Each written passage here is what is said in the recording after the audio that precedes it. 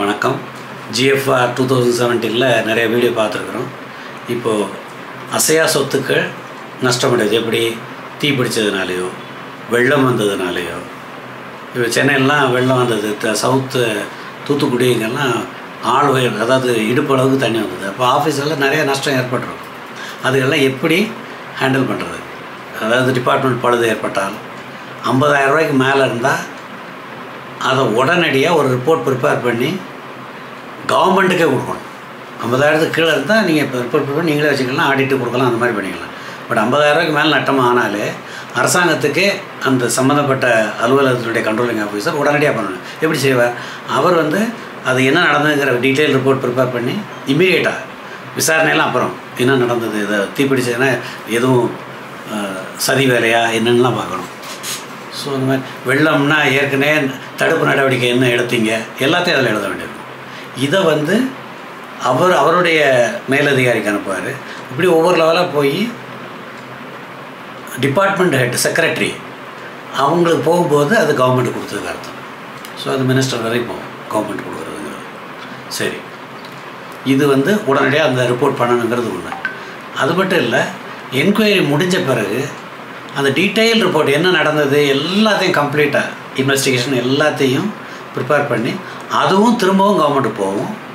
அந்த டயத்தில் ஆடிட் ஆஃபீஸருக்கு ஒரு காப்பியும் ஒரு அப்ட்ராக்டோட ப்ரீஃபாகவும் ஃபுல் டீட்டெயில்ஸும் account B pay and accounts ஆஃபீஸருக்கு ஒரு காப்பி அனுப்பணும். ஏன்? ஆடிட் ஆஃபீஸர் அவங்க ஆடிட் வரையில் அதை பார்ப்பாங்க. கம்ப்ளீட்டாக பேக்ரவுண்ட் எல்லாத்தையும் ஏதாவது கோளாறு நடந்திருக்கான்னு பார்ப்பாங்க. அக்கௌண்ட்ஸ் ஆஃபீஸர் இன்டர்னல் ஆடிட் வராங்க அவங்களும் பார்ப்பாங்க. அதுக்கு அவங்களுக்கு காப்பி கொடுக்கணும். இப்போ ரெஸ்பான்சிபிலிட்டி ஒரு அரசு ஊழியர் சம்மந்தப்பட்டது தான் அப்படிங்கிறது அவர் நேரடியாகவோ ஒரு ஃப்ராடு ஏதாவது நடந்ததுக்கு வந்து அரசு சொத்துக்கு நட்டம் ஏற்படுற காரணமானது. அந்த அரசு ஊழியர் நேரடியாகவோ இல்லை ஏதோ நடந்துச்சு இவரும் ஒரு அளவுக்கு அவரும் ஒரு காரணம். அவருடைய கவனக்குறை ஏதோ ஒரு காரணம்னா அப்போது ரெஸ்பான்சிபிலிட்டி ஃபிக்ஸ் பண்ண வேண்டியிருக்கும் அதுக்கு தனியாக இன்வெஸ்டிகேஷன் டிபார்ட்மெண்ட் ப்ரொசீடிங்ஸ் அது தனியாக ரூல் இருக்குது அதை பற்றி டீட்டெயிலாக பார்ப்போம். அது வந்து அந்த என்கொயரி ரிலேட்டட் வீடியோஸ் போடையில் பா பார்ப்போம். அதுபடி விசாரணை நடத்தி ரெஸ்பான்சிபிலிட்டி ஃபிக்ஸ் பண்ணி தண்டனை கொடுக்க வேண்டும். பனிஷ்மெண்ட் எப்படி கொடுக்குறது?